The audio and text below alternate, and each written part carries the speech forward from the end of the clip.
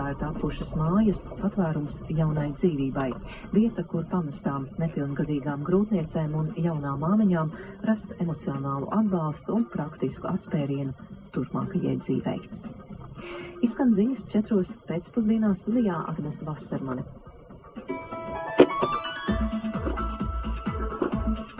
Rīgā šobrīd plus 7 grādi pūš ziemeļrietumu vējš 2 metri sekundē, atmosfēras spiediens 769 mm, gaisa mitrums 64%.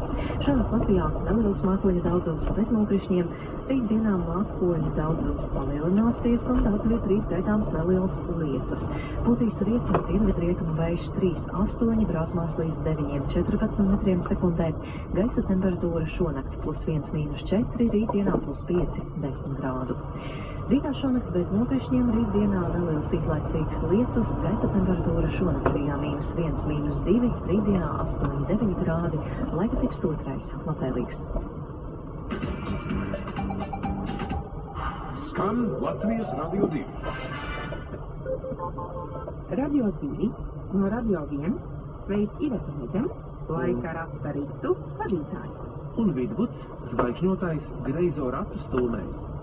Nedomāju, necerēju, necerēju, šai vietai gavilēti, gavilēt. Radio viens mīļi lūdza, mīļi lūdz, radio divi apdziedāti, apdziedāt. Gari mati izpadoms, izpadoms. Radio divi ļautiņiem, ļautiņiem, kaķi cepa vistas lauca, vistas lauca, savā dzimšanas dieniņai, dieniņā.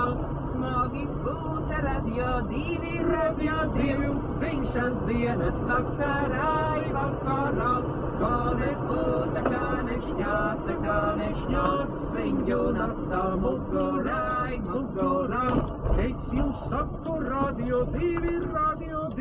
Nāciet kopā sadziedāti, sadziedāt, kad skanēja radio viens, ir radio viens, ozolām bija zīles dīra, zīles dīra. Radio viens, sveic radio divi, radio divi, jūsu godā vakarai, vakarā, lai skanīgi raidījumi, raidījumi, kuri viesi studijā, studijā, lai jūs ļaudis klausījās, klausījās, dziesmas līdzi dungodami, dungodam. Un mums līdzi ir divas lielas žagara buntes. Viena no bērda žagariem, tā Armīna Roņa darbiniekiem, ja galvā pārāk sakāt skaistās dziesmas. Un otra no Latvijas pūkoliem. Vēlot slimības ārā, veselību iekšā, mūžam iekšā, slinkumā. Viens veidojums.